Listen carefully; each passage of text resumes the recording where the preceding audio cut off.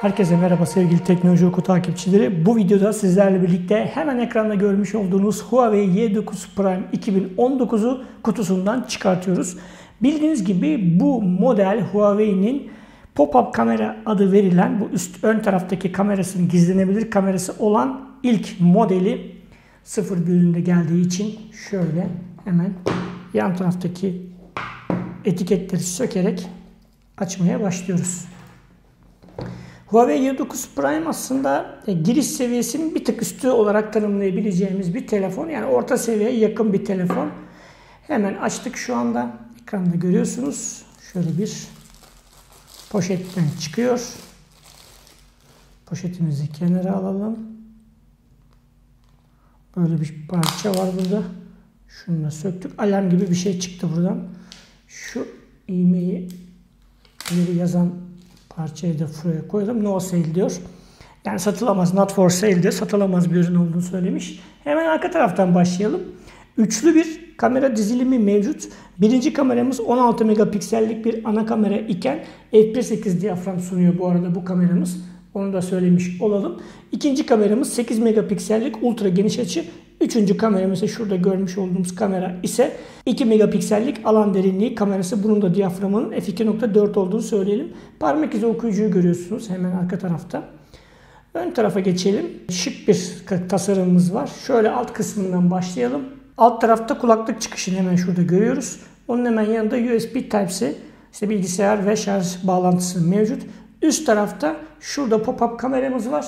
Bu kameranın özelliklerini birazdan değineceğiz. Burada da bir sim kart yuvası konumlandırılmış. Yan yüzde power tuşu, güç tuşu, ses açma kapama tuşları varken bu tarafta da bir şey yok. Şimdi açalım bakalım cihaz bize neler sunacak. Açılacak mı onda emin değiliz ama şöyle bir basayım. Genelde açılıyor bu arada kutudan çıkan ürünler. Evet şu an açıldı. Telefon açılırken ben de biraz teknik özelliklerden bahsedeyim isterseniz. 6.59 inçlik 1080'e 2340 piksellik IPS LCD bir ekranımız mevcut. Kirin 710F işlemcimiz var. Biliyorsunuz bu işlemci 12 nanometre teknolojisiyle geliştirilmiş 8 çekirdekli bir işlemci. 4 GB RAM, 128 GB depolama, microSD bellek kartı yuvası, Android 9 Pie işletim sistemi olduğunu söyleyelim. Şimdi burada geldi. Buradan hemen Türkçeyi seçelim. Ekranda görüyoruz. Türkçeyi bulalım. Tekrar Türkiye diyelim. Başlayalım. Tamam kabul ettik. Sonra dedik. Atlıyoruz. Sim kart olmadığını söylüyor. Sonraki diyoruz. Atla diyoruz. Burada diğer diyoruz. Diğer diyoruz. Kabul ediyoruz. Bunu da atlayalım. Hayır teşekkürler diyelim. Devam diyelim. Şu anda telefonumuz açıldı. Gördüğünüz gibi bir çentik falan yok. Çünkü niye?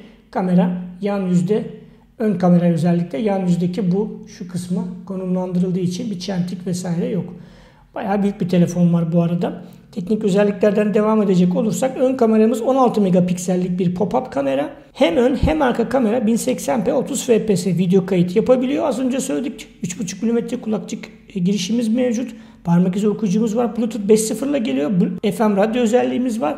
Wi-Fi AC desteğinin olduğunu söyleyeyim. 4000 miliamperlikte bir pil var. Gece siyahı, zümrüt yeşili ve safir mavisi olmak üzere 3 farklı renginin olduğunu da söyleyeyim. Bu arada bize gönderilen sürüm şu anda sizin de gördüğünüz gibi gece siyahı yani siyah bir model gönderilmiş.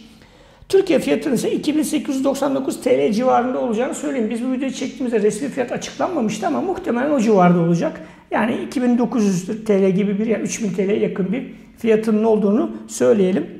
Şimdi gelin biraz kameraya bakalım. Pop-up kamera dedik ama nasıl çalıştığını bir görmüş olalım.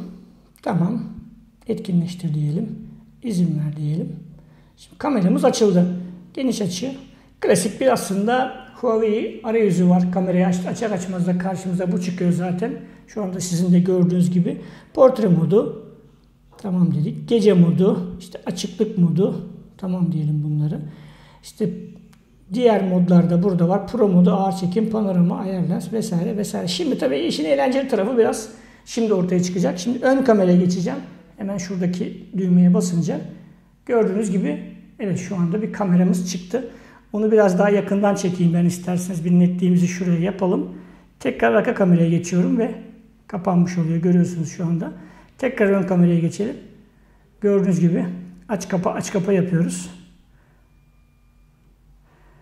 Biliyorsunuz da bu tip ürünlerde bu e, kameranın, telefonun daha doğrusu ani hareketi olduğunda bu tip kameralar otomatik olarak kapanıyor. Bakalım burada öyle olacak mı?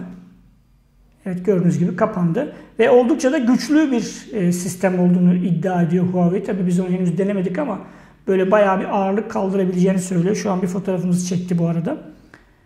Tamam diyelim. Aynı kapalı yapalım. Şimdi yine bir kez daha çekmiş olduk. Tekrar kamerayı kapatalım. İşte böyle bir e, pop-up kameramız mevcut. Şu şöyle bir de yukarıdan göstereyim aslında daha güzel olacak. Bir saniye biraz daha netliğimizi tam yapalım. Gördüğünüz gibi buradan inip kalkan bir kameramız mevcut. Şöyle göstereyim isterseniz bir kez daha.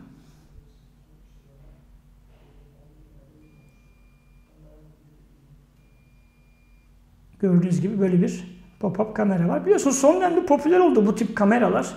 Peki neden bu tip kameralar tercih ediliyor? Bunun en önemli sebeplerinden bir tanesi ekran gövde oranını daha yüksek yapabilmek. Çentiksiz telefon üretebilmek. Şimdi mesela bakın şu an telefonumuz çentiği vesairesi yok. Herhangi bir hani üst tarafta sizi rahatsız edecek bir bölüm yok. Oldukça da ince bir çerçevemiz var ama alt kısım bir tık daha kalın gibi. Şu anda görüyorsunuz. Üst taraf biraz ince ama alt kısım biraz daha kalın gibi.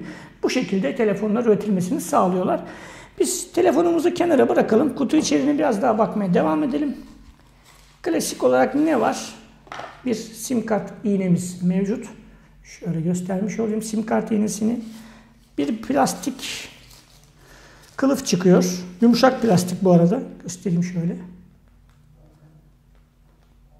Ben seviyorum böyle kılıfları. Yani en azından telefonu koruması açısından test ederken de bu kılıflarla kullanmaya dikkat ediyorum. Hmm, adaptörümüz enteresan olmuş bu. Ama bu çıkartılabiliyor mu? Evet. Normal şunu çıkarttığımız zaman Türkiye'de de kullanabileceğimiz bir fiş türü bu. Şuraya bir bakalım başka ne var. Type-C kablomuz şurada. Şöyle çıkartayım göstereyim. Type-C kablomuz da burada. Şöyle bir kapatalım. Bir de şurada şirin bir kulaklığımız görülüyor galiba.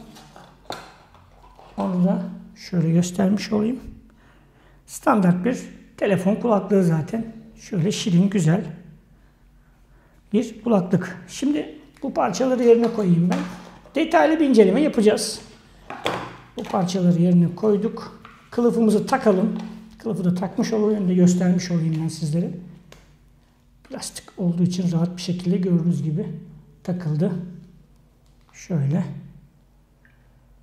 Çok şık oldu en azından darbelere vesaire karşı koruma sağlanmış oluyor. Bunları da yerine koyalım. Diğer parçalarımızı şunu şöyle sıkıştırayım ben. Diğer şeyleri yapalım. Detaylı bir inceleme gelecek. Detaylı inceleme gelirken siz de eğer bu telefonla ilgili Y9 Prime ile ilgili merak ettiğiniz bir şey varsa bu videoda yorum olarak bize iletebilirsiniz. Biz de elimizden geldiğince inceleme videosunda bu yorumlarınızla beraber inceleme yapacağımızı söyleyelim. YouTube kanalımıza abone olmayı, aynı zamanda Twitter, Facebook ve Instagram hesaplarımıza da bir göz atmayı unutmayın. Farklı bir videoda, farklı bir incelemede karşınızda olmak üzere. Hoşçakalın.